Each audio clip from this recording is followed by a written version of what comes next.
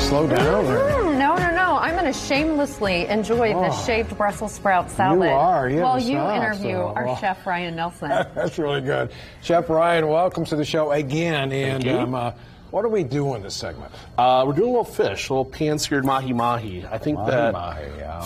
cooking fish for a lot of people can be kind of intimidating. I think people kind of shy away from it. They're, Hmm. Why? they're Why is that? scared that? they're either going to overcook it or undercook it. Okay. And um, That's why we need you. and to be honest, usually they, they do. So come to the restaurant, we'll do it for Which you. Which might be why people don't. I mean, they, they love it when it's at a restaurant. When they make it at home, kind of like Brussels sprouts, you know. Yep. We sell a lot of fish at the restaurant, and I think part of that is A, how we prepare it, but B, also, people don't generally do it on their own. So I've got the mahi, some salt, some pepper. I like to put a little uh, whole garlic clove in our pan and some uh, rosemary. And I'll do that if I'm cooking a steak or a pork chop or a uh, piece of chicken breast or something. The, the technique is the same. It's the, the ingredients that can change. So like you can have that, that rosemary and that garlic in there for anything, and it really adds a nice uh, a nice element to the dish. Without being overpowering. 100%. It's very subtle. It seems like I always learn that from you, what the balance is to get the right mouthfeel and flavor. Sure. That, that's what it's all about is balance. So you were just telling us one of your favorite pastimes is deconstructing a fish, right? I love to butcher fish. It's one of the things that You I really like enjoy most. doing yeah. that, huh? Whole salmon, whole halibut, whole uh, mahi mahi. So how big was that mahi mahi when it came to you? It was like this big, Oh, Okay, four, look, four it's feet. like your arm's wingspan, yeah, right? it's like a 20 plus pounder, 25 pounder. Where'd you get it from? Uh, I think they were coming out of uh, Latin America. It was probably Nicaragua or, or maybe Panama. Oh, okay. And then the thing you can kind of notice is the fish starts to kind of pull away from the pan a little bit. Mm-hmm. And when that starts to happen, you're close to uh, being ready to, to flip it. Now, while that's going, I've got some uh, roasted root vegetables, if I can manage. This is the vegetable candy I talked about. Oh, okay. you didn't know. Oh, okay. All right. I'm, I'm learning here, so. And that uh, that rosemary is so fragrant. Oh, yeah, it smells It is just filling the whole studio. It's so good. And then I've got some root vegetables, Ooh, yeah. and these are just uh, salt, pepper, olive oil uh, in a pan for about 20 minutes.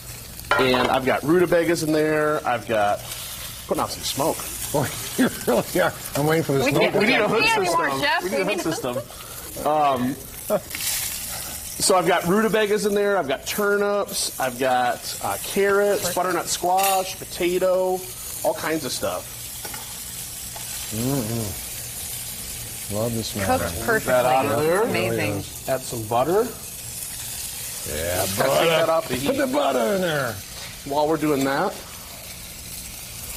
we'll add this to our pan, and we're going to make a little sauce out of it. We're going to add a little bit of white wine to both pans. This is going to smoke again. Okay. I, I'm guessing, Chef, that this is another popular item on the menu. It is. It is. We sell a ton of fish at the restaurant. He's getting a mahi mahi facial right now. That's what's happening. All that steam's coming up. We also add a lot of white wine to our food. Oh, um, Yeah. Sometimes it's to add flavor, but also sometimes it's to cool a pan down. If you got a pan Oh. that's too hot, A, take it off the stove, but B, add some liquid to it. Okay. Right? That will work, So yeah. we've got a little bit of uh, roasted garlic head.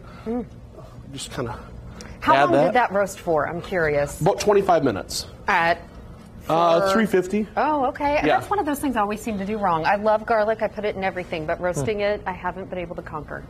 Now, when you roast it, you were mentioning earlier the, the sweetness of vegetables.